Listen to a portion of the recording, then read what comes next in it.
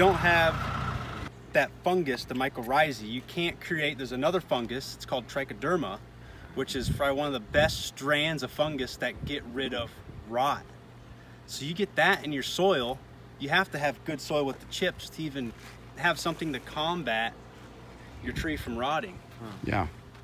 And you don't get root rot as much because the chips also act as a sponge. So heavy chips, it won't overwater. It's Yeah, it hard to underwater. And you get mycorrhiza. Yeah, it's perfect. It's a win-win. It's just some of the stuff nowadays is so modern. They don't want chips in their yard. They want rock. Yeah, or they want You're things to look off really with pretty. grass. But go down and into the main part of the town where everything's irrigated and look how much better their landscapes are. Mm-hmm. They have real dirt. Yeah. It- You can actually break down little pebbles and stuff in your dirt just by Mycorrhiza. putting an organic layer in it. Yeah, that mycorrhiza is a drill. and it drills down through the rocks and turns it into minerals that the plants can actually eat. Yeah. That's why you see pi- pine roots growing through the rocks Mm-hmm. because the mycorrhiza was drilling and the root followed the mycorrhiza. Any little spot it can go, it'll go there and break it up. Right.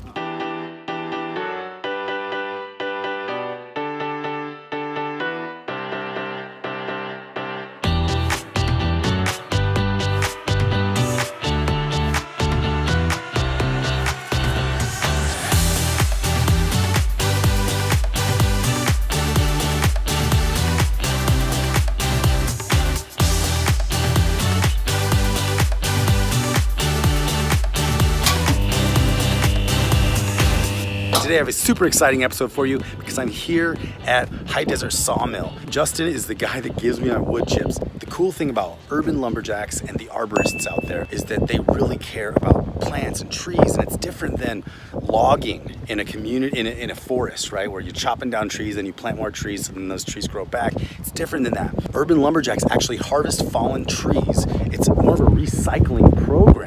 And it's a recycling program where when a tree falls in the middle of the city, maybe falls in a house, falls in a car, or doesn't fall in anything, but it's a big tree, needs to get rid of it. People need to chop down trees that are really old, that are falling apart or dead. So it's more of a harvest instead of trash. And that's what I love about this. So Justin dumps a ton of wood chips off at my house all the time.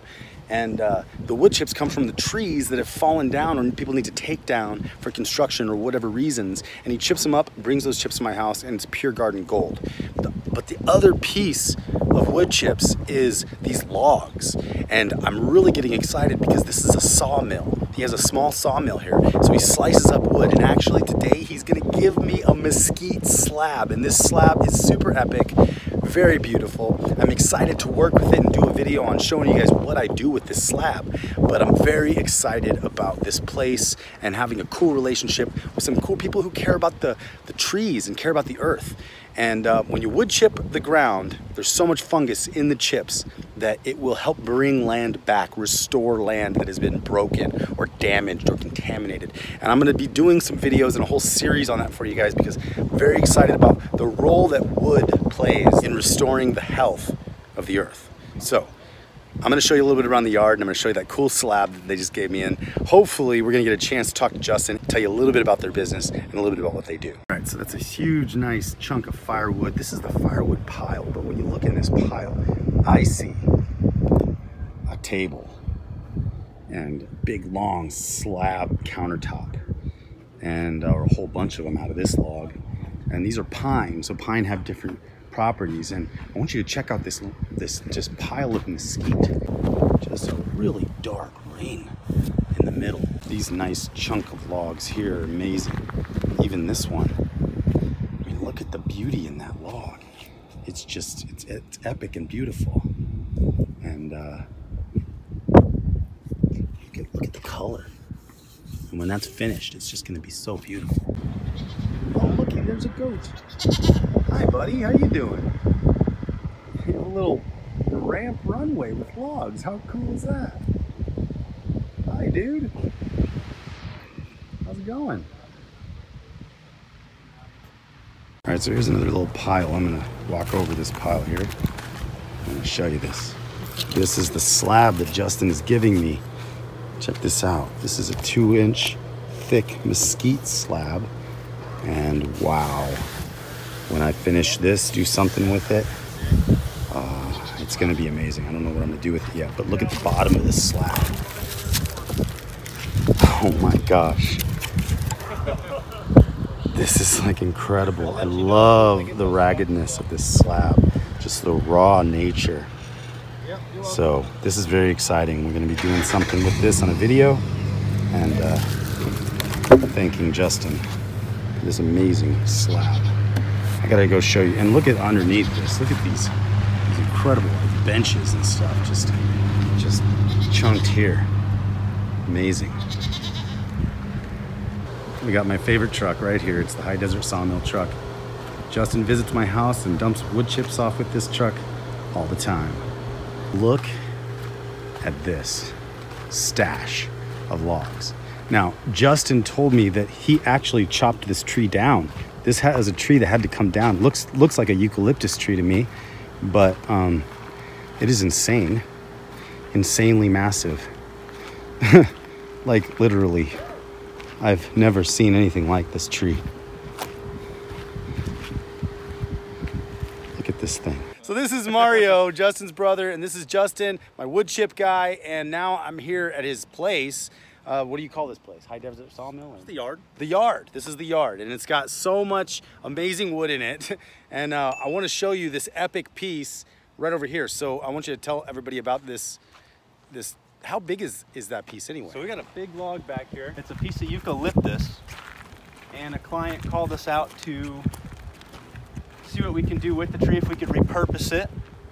So what we did is we removed the tree for him and milled it. And this is the main log section. Here, stand by it. I want to get that scale. It's 23 feet long and 23,000 pounds. It's Six foot diameter eucalyptus. Wow. So this He's is a gonna be- customer's log. Yeah. Yep, it's a customer's log. We've already milled up 80% of the wood already, and he's putting it in his house for flooring and stair treads, baseboards. And that's right here. This is some leftover stuff, so if he needs more, we can mill more. So so basically, so so he had a tree that had to come down, and he called you, and you come and took the tree down, with the intent of using it for stuff eventually. Yeah, yep, repurpose it all. Yeah. Hate to see something like this. 80, hundreds of years of history just go straight in the trash. Yeah. Yeah. Yeah, so they're building a new house and it's going in their whole house. Wow. Repurposing. Definitely. Everything we, we do, we try to recycle as best as possible. Do you consider yourself an urban lumberjack? I have to. the forest is the city for me. True. what you're doing is taking trees that actually have to come out Yep. and recycling it into chips and logs. So Every bit of it. every bit of it. I love it. And people can make furniture. So you do rough cuts. Rough cut wood. And then you will allow them to have a nice slab and then they can take it and, and get it finished somewhere. Yep. Yeah, if they need a specific size, I can cut their wood, or if I have something here, to the size they want to work with, and they can have an exact dimension. Unlike if you go to the box store, Home Depot, or somewhere, and buy something, your two by four is not a two by four. Yeah, you're right. So I can cut exact size, Oh, cool. especially people wanting to woodwork or they need a custom size table. We can cut it. Sweet. Specific Awesome. size mantles, Oh, awesome. all that fun stuff. Yeah, love it. Sweet. And that's uh, highdesertsawmill.com. Yeah. Yep. Cool. Awesome. Sweet. So yeah, show me around. What else we got here going on? So you have a lot of logs of customers' logs that are here uh, that are waiting for the customer to want to do something with it. Yeah, so just like we had that big storm, a bunch of people lost a lot of trees in their landscape. So if they can load them up and bring them out to me, we can mill them. Oh, okay. So a lot of this stuff in here is other customers' wood that we're gonna be milling down. They gave me the size dimensions they want and I'll get it on the mill and process it down. Wow, how cool. We got tons of other firewood in the back. Lots of stuff that's great for, you know, turning if people want to woodwork and they have a lathe and they turn wood. Absolutely. We got blanks. Anything. Lots of scrap wood. If you just want a cheap piece of scrap, we have scrap piles too. Sweet. So we got your mill here, and that's a it's kind of a small little mill. It's portable. It is. It's productive though. Yeah. It can cut down a 36 inch log, process it down. Uh, the widest I can cut on this specific mill is 21 inches, but 21 feet long too. Oh wow. Yeah. It's very productive. It doesn't take a lot of wood out of the cut when you're cutting. It's that real thin kerf. Oh, yeah, let's look at the blade here. Because some of these chainsaw mills, you're right, they'll take out. It's super thin. Yeah. Wow. So what kind of mill is this called? It's a it's a Wood-Mizer is the company who makes it. It's an LT35. Okay. Uh, it's a manual mill still, so I got to do all the log handling by hand. Uh, but the whole head and everything that the bandsaw runs on the engine is all electronic controlled. So I set the dimensions, and so I get a, an exact cut every single time. All done by electronic. Wow, that's amazing. You don't even have to push the mill. Nope, it's all drives itself. Yeah. You set the speed. Some woods are harder than others, so you can't cut as fast. It's all done with the the control panel there. And you can take it anywhere you need to. That's great. Yep. Actually, in a couple of weeks, I'm taking this all the way out to Nevada by Las Vegas. Got a customer out there that got a hold of me through the internet, and I'm going to be out there milling up some wood for him. Sweet. It's amazing. All right, let's let's look at this scrap pile real quick. Which one? I know. So this is technically your firewood pile. Yeah, that's like bonfire wood, Yeah, that's works so there's good. like bonfire wood there. camping wood. A lot of lots the mix of stuff. I mean, there's everything in there. There's pine, elm, acacia, mesquite. So even yeah, some people that wanted to make a little bowl or something, they might even find a piece in here to Oh, yeah. turn. You can find something real kind of crazy, gnarly. I think this is small. Oh yeah, look at But It's got lots of little knots on here. You could turn that and get something little out of it. Right, right. All over the place. Cool. And then this is the big storehouse of like almost pretty much epicness. This is where we break down a lot of the logs into firewood. Okay. So it starts off in piles and we get it all split. So we got ficus, ash. This is our mesquite pile. Lots of mesquite in there. And then it just keeps going down. We got acacia. The whole back of the yard's pine. We're gonna be doing a sale this year on all of our pine, getting rid of it for half price. Instead of 20 bucks a wheelbarrow load, it's gonna be going for 10. So half the price for pine, only at the beginning of the season this year. When Cool. the When is the weather season? Usually October. Okay. Is when it starts. Sweet. Yep. So people contact you, then uh, they can come look and see what you got. They could buy it on sale, but they can also buy it when it's not on sale because it's still not that expensive. No, we sell it in bulk and we also deliver. We take the chip trucks we got. We could fit three cords in there. A cord is four foot wide, four foot tall, and eight foot long of firewood stacked tightly. Okay. That's a cord. Oh, awesome. Yep. And we So you'll deliver actual firewood to people or logs. Yeah, if they want logs. I haven't delivered very many logs Oh, to okay. people, but firewood for sure. We do a lot of that. Cool. Awesome. Yeah, and then look at that pine. I mean, this this thing is this thing's huge. smells so good right over here too because of the sap. Yeah. Yeah, if you ever have any questions or anything or want to just take a look at what we have, you know, you always find my information online, Okay. highdesertsawmill.com.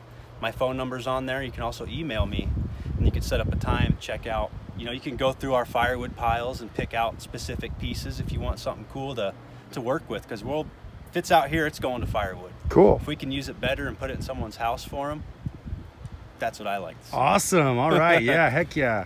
So definitely give Justin a call um, if you guys have any ideas. Like even this thing. Like, oh, like oh my gosh, thing's huge. Talking about the goat. And the goat. That's Colt. Hey Colt, how you doing, buddy? All right, so I just made it back from Justin's place at his awesome sawmill lot up there. This is what I came home with. Boom! I'm so excited. So there's a whole bunch of really cool stuff here. Um, you guys can go there and get rough cut lumber if you want to build some stuff. And that is what I did here. I got some rough cut lumber from him, and uh, he gave me this slab right here. And then uh, and then yeah, you know, it's not that expensive either to buy some cool stuff that you can like fix and, and make yours. So let me show you some of this stuff because I'm really excited. Hi, sweet baby girl. This is a mesquite slab. And what are you doing, sweet baby? Hey. Now there's another piece of slab right there that's super cool. But this right here was the mesquite slab that he gave me. And I love the other side of this. It's like just raw. Super cool. I don't know what I'm gonna do with it yet. I have a couple ideas, but if you guys have any ideas of what I can do with some of this wood, I have some ideas, but I'd like to hear your ideas too. Um, I have a nice, cool slab. I forget what kind of wood this is. It looks like an arrowhead, probably an end table. It's kind of big, you know. Um, I got a nice, couple nice round things here to work with. And this cool piece right here I love the end over here. Um, I believe this is eucalyptus. Eucalyptus is a beautiful wood. So, I got a beautiful kitty walking on a piece of beautiful wood. Hey, baby. Yeah, she likes it too. This piece is probably one of my favorites. This is a piece of eucalyptus right here. And it's a very heavy piece actually. I have flip flops on, so I can't crush my feet. And whoops, sorry, baby. Look at this piece of eucalyptus. It's like a surfboard, but it's amazing. It has it's been sitting out for a long time, so it's dry. It's got a big curve in it here, but I think we could sand that out. Really make this amazing, a nice bench or something. And then this is a really cool piece here too. Um, this one's not as heavy, but it's a big log as well. Um, I just think it's gonna be really cool to get to do stuff with these. So, what is your thoughts? What do you think I should make with these? pieces of amazing wood. And then right behind these pieces of amazing wood are Justin's wood chips. So, urban lumberjacks, very important job in today's world. And it's a very exciting one too.